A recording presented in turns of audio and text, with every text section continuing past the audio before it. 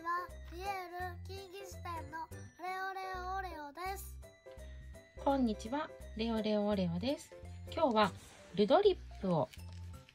増やしていこうと思います。これも、えっと、前、これは1年ぐらい前かな、にもしてるので、え、またって、そしてまた増やすなのって感じかもしれないんですけど、春なので、いろいろ増やしていこうと思ってます。なので、いろんなこう、増やす動画、すみません、続けちゃうんですけど。で、えっと、今日はこのルドリップしていこうと思います。前にもあの動画にした時のこうかなりモリモリに増えてで結構おまけにもかわかわいくて大好きなので入れたりしてるのでこれもどんどん増やしていこうと思ってます。じゃあ早速増やすのに、えっと、もう一個ポト持ってきました。これを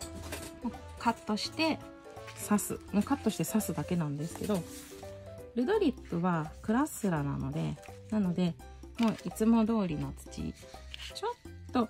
水持ちがいい土の方がクラスラなのでいいかなって思うんですけどちょっとジュクジュクしちゃうとダメになっちゃったのもあダメにしたことが前にあったのでなのでちょっと今回はいつも通りのうちの土。ですねでしていこうと思います。で、オルトラももう中に入れてます。じゃここで今から、えっ、と、挿し木していきたいんですけど、早速カットをしていこうと思います。で、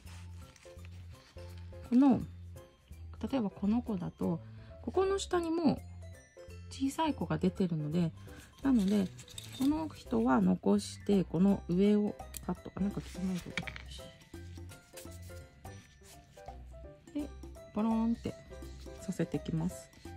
でいつもより私のカットの基準は8からはみ出してる子は切るようなので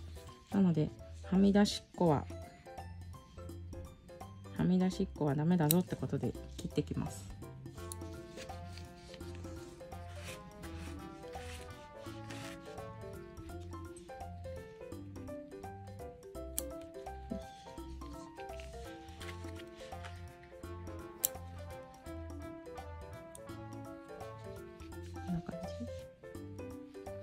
この人も切ろうかな。でまた切ったらこの子もここからさらに出てくるのでクラッスラの子ってあの切ったとこから出てくるのでこんな感じでこう切るとこうポヨンあれ落ちてなかった。ポヨンポヨンって。これこれはルドリップじゃないんであれなんですけどここからまた出てきてくれるのでここから。面白いですよね。なのでどんどん切っていこうと思います。ポット3個じゃダメだったかな。これもこういうのだとこのこの人を大きくしたいのでなのでこの人がいるとこの人が大きくなるのがゆっくりなのでなのでここでここで切っちゃいます。よいしょ。じゃん。なので小株がいる子優先で切っていくことが多いですね。よいしょ。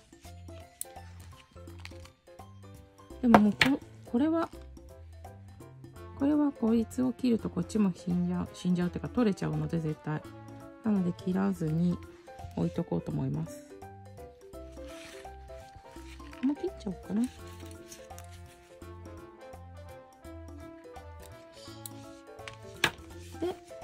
まあ、早速なんですけど、このまま土に置いていく。置いていくのみ。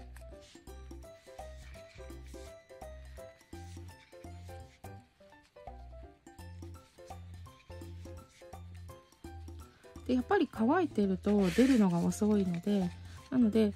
もう差し木してすぐにもう水やり1回目の水やりシャーってあげてます。しばらく気づしばらくして気づくとまたモリモリになってるっていう感じなのでなのでちょっとしばらくは、ま、ずっとのずっとは濡らさないですけど最初はお水をあげてってます。じゃあこれでこんな感じでしていこうと思います。じゃーん。今日はクラッスラのルドリップを増やそうと思ってカットして挿し木しました。でこの子は植え替えはちょっと今季は植え替えたい子もいっぱいいるのでこの人たちはちょっと今回はこのままカットだけでいこうかな。でまたこのこっちがついてくるのじゃなくてこっちがカットした子がどうなってくかどうなって出てきたかっていうのもお見せできるといいなって思ってます。忘れないように気をつけてまた経過を載せていこうと思います。すぐ忘れちゃうのでなので忘れないように頑張っていこうと思います。こっちもねルドリップを増やしたいなと思ってしっかり決めてで定期的にカットしたり植え替えたりってしてたら割と簡単にモリモリになってくれる子だったのでなので今はもうルドリップを見かけても買わないって買わルドリップは買わないよって自分の中でちゃんと決めてます。何の話やっていう話なんですけどなのでこれからもこれもりもりとどんどん増やしていけるように頑張ろうと思います。じゃあ、えっと、今日はこんな感じで。もりもりのルドリップをさらに。こっちは多分ねまたモリモリになってきてでこっちも可愛く育ってくれると思うので頑張って育てていこうと思います。ご視聴ありがとうございました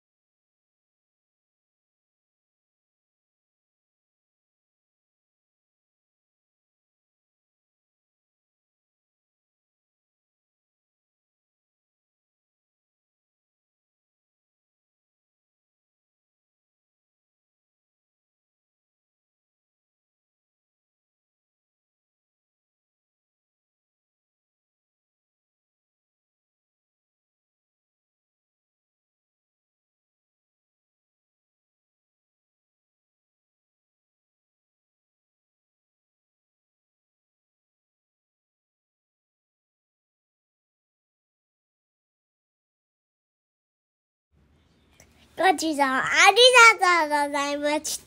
チャンネル登録とグッドボタンお願いします。